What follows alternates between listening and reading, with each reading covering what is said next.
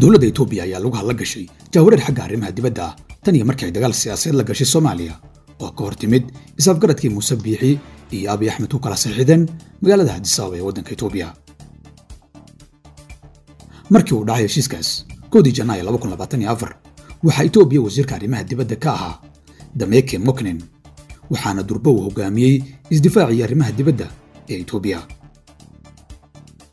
soomaaliya xilligaasi wasiir arrimo dibadeed ma lahayn waxaana joogay cali balcad oo kusima ah hal bil kadib ra'iisul wasaare abiy axmed oo masuugsan shaqada wasiirkiisa arrimaha dibadda iyo sida uu caalamkii ula safanaya soomaaliya ayaa beddelay wasiirkii arrimaha dibadda waxaana uu keenay taaya agtisalaase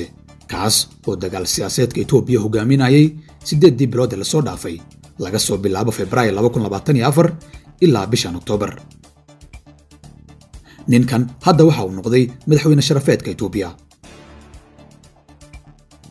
xilka wasiirka arrimaha dibadda waxa uu ra'iisul wasaare abi hadda u magacaabay gideon timothy oo horey uu ahaa wasiirka cadaaladda etoobiya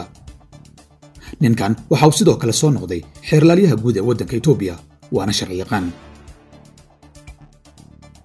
Marka laga hadlayo xiisadda etoobiya iyo soomaaliya waxaa faylkan dhinaca etoobiya ka hogaaminaya qofkii saddexaad warbaahinta gobolku waxay isbeddelladan joogtada sabab uga dhigayaan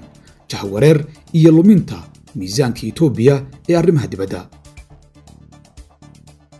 Ra'iisul wasaare abiy axmed wuxuu u muuqdaa nin marba qof cusub ku tijaabinaya arrimaha dibadda si loo dabciyo culayska arrimaha dibadda ee etoobiya kaga imaanaya soomaaliya. Laakiin habka ay soomaaliya u qaabaysay siyaasaddeeda arrimaha dibadda gaar ahaan mid ay ku wajahaysa etoobiya ayaa bixinaysa guul hordhaca dadka arrintan ka warramaya waxay leeyihiin dhibaatada etoobiya ee siyaasadda arrimaha dibadda iyo dhibcaha soomaaliya. Labaduba ma ahan wax la xidhiira shakhsiyaadka hogaaminaya wasaaradaha arrimaha dibadda ee labada waddan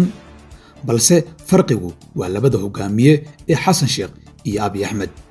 Taasina waxay fariin hordhaca ka bixinaysaa inuusan wasiirkan cusub wax badan beddeli karin. Midowda yurub maraykanka midowda afrika qaramada midoobay ururka jaamacadda carabta iyo dhammaan quwadaha waaweyn ee caalamka ayaa la saftay soomaaliya tan iyo markii uu dillaacay khilaafkan.